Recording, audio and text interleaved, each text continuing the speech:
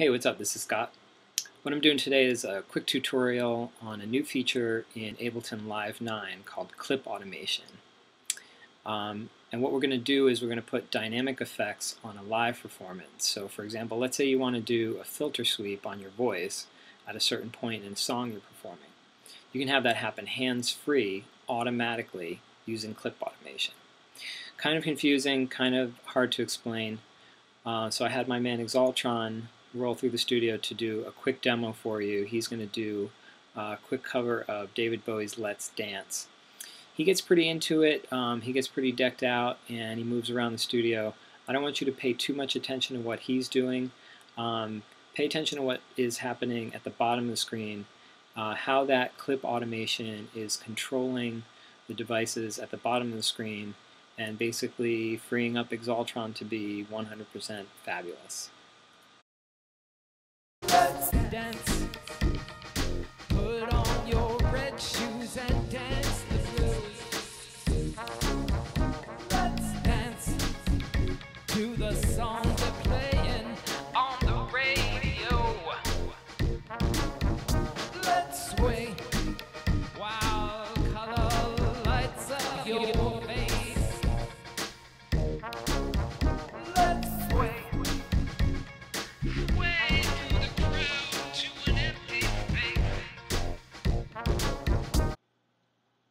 well that was exciting. Thank you, Exaltron. Um, what you're seeing right here is basically the same, this is the same session. I've just deleted out those two vocal tracks that I was using. Um, all this stuff here, these are pre-recorded clips. Um, this is all stuff that I created in, in Ableton. If you have any questions about um, how I created these sounds, they're all just native uh, live devices, native live sounds.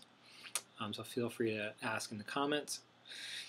So um, what we need to do here to get that uh, dynamic vocal automation, we need two vocal tracks, and I'm going to explain why in a minute. So first I'm going to go ahead and create these two tracks. Let's say insert audio track, and oops, and we'll create another one. Okay, so now we've got two audio tracks. Um, the first one is going to be for our live vocals. So I'm going to go ahead and name these. First one is going to be live vocals. And I'm going to tab to the next one, and that's going to be vocal effects. So that's where our dummy clip is going to go, our empty clip. Now, on the live vocal track, um, I want to just monitor, set that to auto for monitoring. And instead of sending our audio straight to the master out, I'm going to send that to vocal effects. And so what that's going to do is it's going to um, monitor our live vocals in. I'm actually going to use two. That's where I normally would put my vocal microphone. So external in from two. Set that to record. It's not getting anything right now because I don't have my microphone hooked up. Um, and then on our vocal effects, set our monitor to in. The reason that we set our monitor to in on the vocal effects is because we want to be able to actually play a clip and get audio through at the same time. That's kind of the whole point of this exercise is that we can have a dummy clip which is um, a, an audio clip and we've just taken our audio down to zero. And at the same time we have audio coming through, live audio coming through from this track.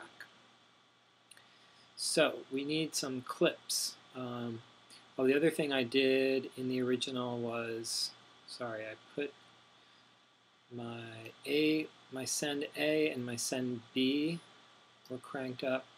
Um, send A by default is reverb and B is delay. That's in the that's in the template. Anytime you open a new um, session in live.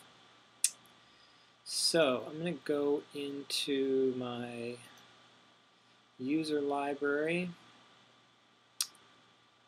And under presets, I made a folder here called Let's Dance, and I just pulled all my effects and um, clips from the other session that I used. Um, I don't want to spend too much time creating all these effects from scratch um, or re-recording the vocals obviously, but I did want to show you how, um, how I created the tracks. So here's our um, Let's Dance verse and I'm going to pull that into our live vocals.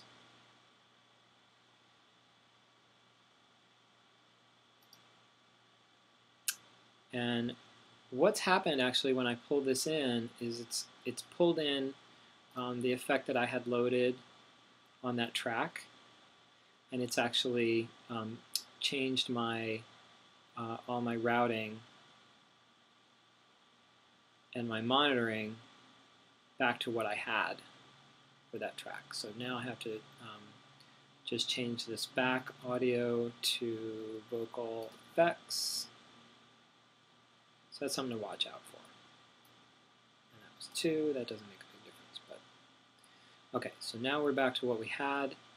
Um, and then I'm going to take this vocal, there's all our vocals. I'm going to take this and option drag it over to our vocal effects.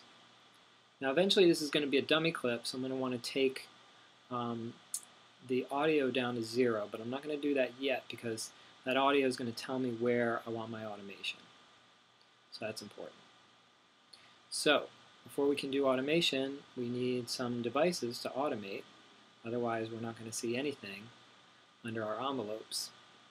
So let's double click on that track and we're going to drag this in. Let's do it in the in the chronological order um, that we automated these. So I'm going to pull in our ping pong, and then we had cheesy speaker, and I'll go through exactly what's happening in each of these. And then we had our beat repeat,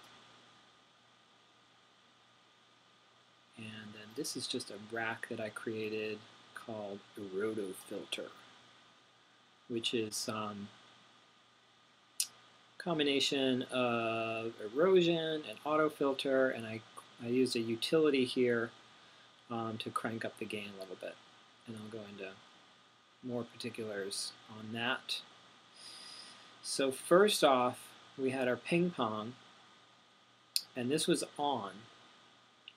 Because it's a delay, what I wanted to do was fade in the dry wet so that it so that that uh, delay kind of fades in smoothly. So if we go into now, watch what happens. This is really cool. The last thing that I adjusted here was this dry wet on this device. So now in the clip automation, if I go into envelopes, it's automatically focused me on ping pong delay, dry wet. So the next thing I do, I don't have to do any of this messing around in these menus. The next thing I do is I can draw in that automation. Now the problem with that is if I want something gradual, I don't want that snap to grid happening. So if I go up to my options, I can uncheck that snap to grid, and then I can do something a little more smooth here. I think we had something like that going. You can always go back and adjust it. Okay, and then the next thing we had was our cheesy speaker.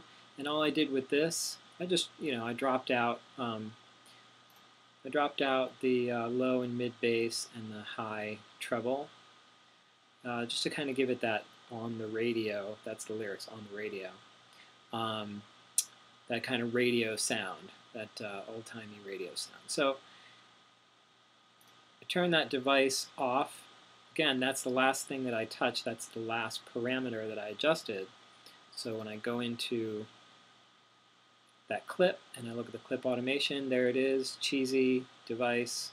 That means cheesy speaker device on. And now I can just there, turn it on, that's on the radio. doesn't have to be perfect because you're only going to hear it when audio is coming through. So that's that's not. I'm going to get too particular with that. Okay, so that is on the radio. And now we're going to go back to our effects, double click on the track. Um, beat repeat, same thing. Just device on, device off. Um, this is a very standard beat repeat. Grid is set to um, 30 second note. Uh, interval is 1 8. Um, that's just a very standard kind of stutter effect uh, that works really well at this tempo. So going back into our clip, last thing I touched was beat repeat, device on, there it is. Um, this was the third effect, third line of that verse. And I think I put it somewhere like, oh, it's actually on right now. So let's go back. Let's make life easier and turn it off. It's off in our automation. And we turn it on right about here. Boom. And then it's off the rest of the time. Okay, so that's our beat repeat. Number four was this rack right here. Now I'm doing two things here. First I'm going to turn this device on. Double click on the clip and oops, do the same thing. I'm going to start with it off and turn it on. So just for that line right there, boom.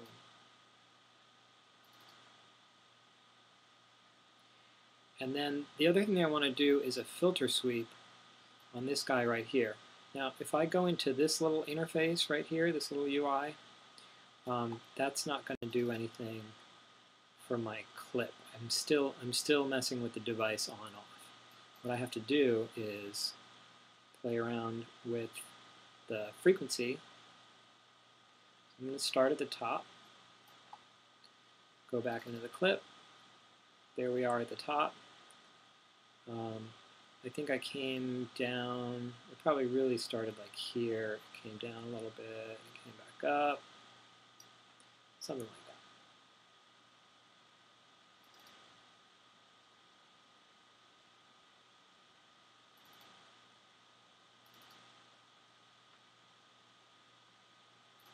And that is basically it.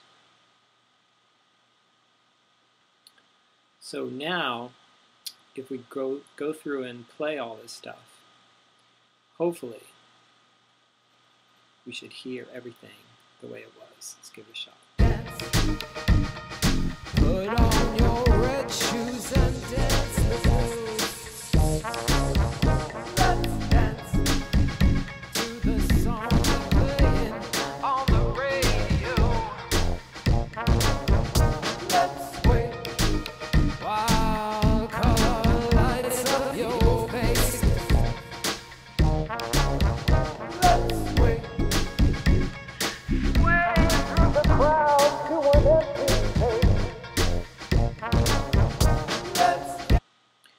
All right, so that was not too bad. That was um, that was definitely not exactly uh, like the original. If you go back and listen to the original, uh, but I think we got pretty close, and um, I think it really kind of illustrates how um, how powerful and how much how much um, power you have over all these parameters um, with this with this clip automation.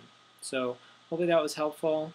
Um, feel free to ask me any questions in the comments um, go ahead and subscribe to my channel. I'm going to try to uh, put out some more of these tutorials a little more often.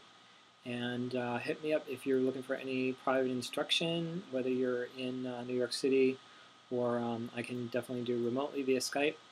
So um, hit me up. Um, I'm always looking for new students. All right, thanks for watching.